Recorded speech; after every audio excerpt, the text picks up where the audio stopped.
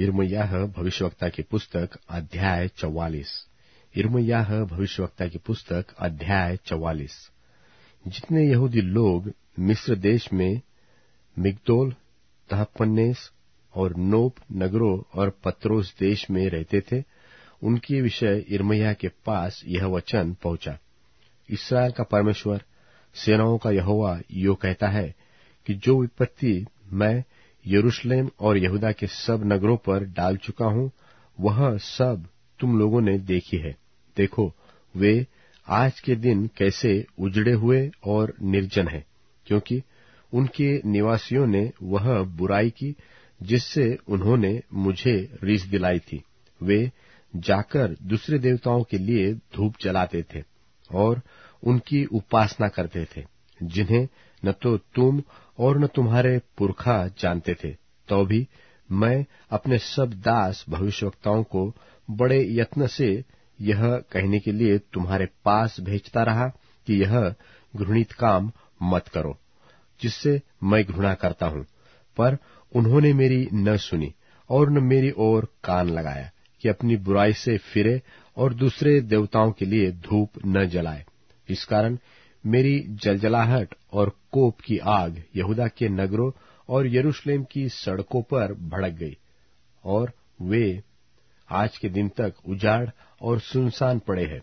अब यहोवा सेनाओं का परमेश्वर, जो इसराइल का परमेश्वर है, यो कहता है, तुम लोग क्यों अपनी यह बड़ी हानि करते हो कि क्या पुरुष, क्या स्त्री, क्या बालक, क्या दूध पीवा बच्चा, तुम सब यहूदा के बीच से नाश किए जाओगे? और कोई न रहे, क्योंकि इस मिस्र देश में जहाँ तुम परदेशी होकर रहने के लिए आए हो, तुम अपने कामों के द्वारा, अर्थात दूसरे देवताओं के लिए धूप चलाकर मुझे रिस दिलाते हो, जिससे तुम नाश हो जाओगे, और पृथ्वी भर की सब जातियों के लोग तुम्हारी जाति की नामधराई करेंगे, और तुम्हारी उपमा देकर शाप दिया करेंगे। जो जो बुराइयाँ तुम्हारे पुरखा यहूदा के राजा और उनकी स्त्रियाँ और तुम्हारी स्त्रियाँ वरन तुम आप यहूदा देश और यरूशलेम की सड़कों में करते थे? क्या उसे तुम भूल गए हो? आज के दिन तक उनका मन चूर नहीं हुआ, और न वे डरते हैं, और न मेरी उस व्यवस्था और उन विधियों पर चलते हैं, जो मैंने तुम्हारे पूर्वजों को और तुमको भी सुनवाई है। इस कारण इसराइल का परमेश्वर, सेनाओं का यहोवा, यो कहता है देखो, मैं तुम्हारे विरुद्ध तुम्हारी हानि करूँगा, ताकि सब यहूदियों का अंत कर दू। और बचे हुए यहूदी जो हट करके मिस्र देश में आकर रहने लगे हैं, वे सब मिट जाएँगे। इस मिस्र देश में छोटे से लेकर बड़े तक वे तलवार और महँगी के द्वारा मर के मिट जाएँगे, और लोग उन्हें कोसेंगे और चकित होंगे। और उनकी उपमा देकर शाप दिया करेंगे और निंदा भी करेंगे। सो, जैसा मैंने यरूशलेम को तलवार, महँगी और मरी के द्वारा दंड दिया है, वैसा ही मिस्र देश में रहने वालों को भी दंड दूँगा कि जो बचे हुए यहूदी मिस्र देश में परदेशी होकर रहने के लिए आए हैं, यद्यपि वे यहूदा देश में रहने के लिए लौटने की बड़ी अभिलाषा रखते हैं तो भी उनमें से एक भी बचकर वहाँ लौटने न पाएगा। केवल कुछ ही भागी हुओं को छोड़ कोई भी वहाँ न लौटने पाएगा। तब मिस्र देश के पत्रोस में रहने वाले जितने पुरुष जानते थे कि उनकी स्त्रियाँ दूसरे देवताओं के लिए धूप जलाती है और जितनी स्त्रियाँ बड़ी मंडली में पास खड़ी थी, उन सबों ने इर्मयाह को यह उत्तर दिया, जो वचन तूने हमको यहोवा के नाम से सुनाया है, उसको हम नहीं सुनने के। जो जो मन्नतें हम मान चुके हैं, उन्हें हम निश्चय पूरी करेंगी। हम स्वर्ग की रानी के लिए धूप चलाएँगे और तपावन देंगे, जैसे कि हमारे पुरखा लोग और हम भी अपने राजाओं और और हकीमों समेत यहूदा के नगरों में और यरूशलेम की सड़कों में करते थे, क्योंकि उस समय हम पेट भर के खाते और भले चंगे रहते और किसी विपत्ति में नहीं पड़ते थे।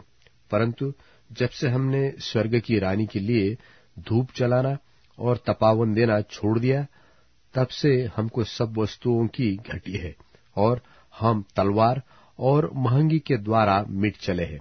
और स्त्रियों ने कहा, जब हम स्वर्ग की रानी के लिए धूप चलाती और चंद्राकार रोटियाँ बनाकर तपावन देती थी, तब अपने अपने पति के बिन जाने ऐसा नहीं करती थी।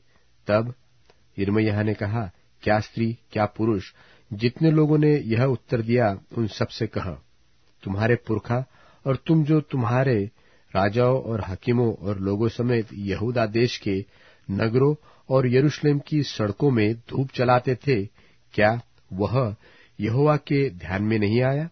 क्या उसने उनको स्मरण न किया? सो जब यहोवा तुम्हारे बुरे और सब घृणित कामों को और अधिक न सह सका, तब तुम्हारा देश उजड़कर निर्जन और सुनसान हो गया।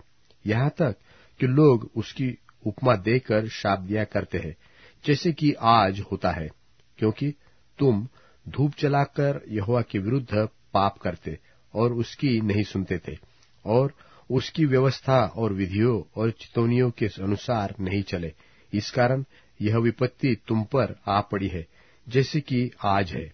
फिर इरमैया ने उन सब लोगों से और उन सब स्त्रियों से कहा, हे सारे मिस्र देश में रहने वाले यहूदियों, यहोवा का वचन सुनो। इसराइल का परमेश्वर सेनाओं का यहोवा यो कहता है कि तुमने और तुम्हारी स्त्रियों ने मन्नतें मानी और यह कहकर उन्हें पूरी करते हो कि हमने स्वर्ग की रानी के लिए धूप चलाने और तपावन देने की जो जो मन्नतें मानी हैं, उन्हें हम अवश्य ही पूरी करेंगे। और तुमने अपने हाथों से ऐसा ही किया।